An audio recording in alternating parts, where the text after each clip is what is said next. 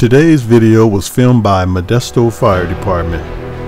I am so glad we have a narrator from this fire department to explain what they were thinking, what they were doing, and what their plan of attack was. So when I dispute their actions, no one can say, you don't know what was going on. These companies arrived on scene of a single family dwelling with fire showing from the garage portion of the house. They decided to attack the seat of the fire, which was a good call, but how they engaged the incident is what I call into question. By their own admission, the fire was concentrated in the garage portion of the house. Now every single firefighter watching this video knows that you identify the seat of a fire and attack it. An aggressive fire attack along with vertical ventilation. The building had self-ventilated. All they needed to do is get water on the seat of the fire. Let's look at their hose line. An inch and three quarter hose line with what looks like a 80 to 100 GPM straight stream tip.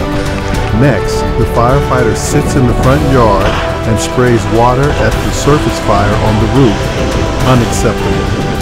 I'm sorry, but you must engage the fire and try to get at its seat. Get in there and attack it quickly. The faster you are, the more beneficial effect you are going to have on the overall incident. I'll be the first one to admit there is more than one way to extinguish a fire, but this is, however, not one of them. I offer this as an alternative. Pull your inch and three quarter hose line with a 200 GPM spray tip. You have the flexibility to use a straight stream or spray stream, and here you could have used both with twice the amount of water.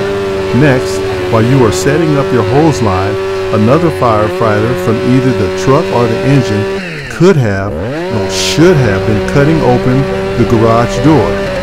Once he completed the forcible entry, the hose line firefighter makes entry to the garage. Once he completed the forcible entry, the hose line firefighter should make entry into the garage. The truck should have been taking a secondary hose line into the house to cut off the spread of the fire into the attic because it had already self-ventilated and this fire would have been a done deal. But that did not happen. The narrator tries to blame the change in wind conditions as to the reason this house burned up. Wrong.